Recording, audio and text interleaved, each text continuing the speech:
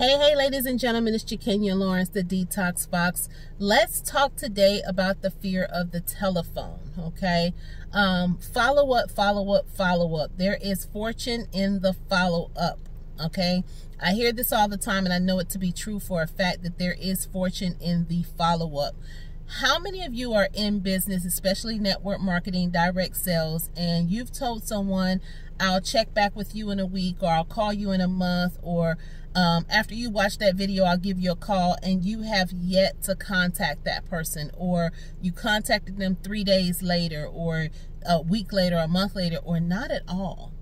Guys, there is fortune in the follow-up. I know a lot of times we have, we look at our phones as that 500 pound weight when we're ready to call someone about our business. But it really shouldn't be that way because the phone should be our friend, not just for text messaging, not just for social media, but also for conversation.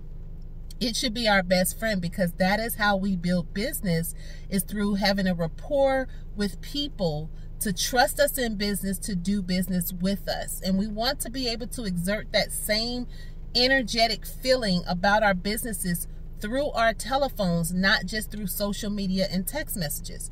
So if you are someone who has um, in the past had some issues with making phone calls or calling cold calls or even your warm market, you just haven't figured it out, I'm going to give you a couple of tips that hopefully will help you at least get to the point of picking up the phone. Okay. So my simple solution to having confidence at home on your phone is whatever it is that you wear or do outside of the home to be confident, put that on inside of the home before you start making phone calls.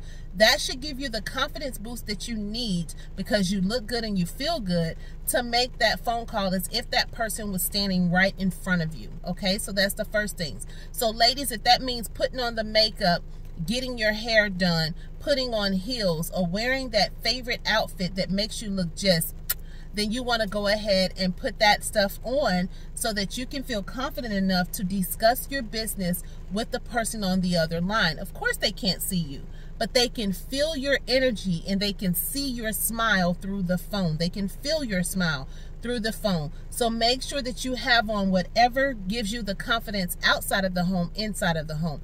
Guys, same thing for you. If you rock it with jeans and a t-shirt on, your favorite t-shirt, and it makes you feel great, put those items on. If you know that when your hair is lined up perfectly or you got it, you get a fresh new haircut and you know you feel confident because you know you look good by the head then guys go get that lineup. Go get that haircut. If you know that if you put on that suit whatever suit it is, whether it's your court suit, your your church suit, whatever suit you want to put on, if it's a suit that makes you feel good, put that suit on and make phone calls. It sounds silly, guys, but if it gives you the confidence outside the home, it'll give you confidence inside the home to make the phone calls.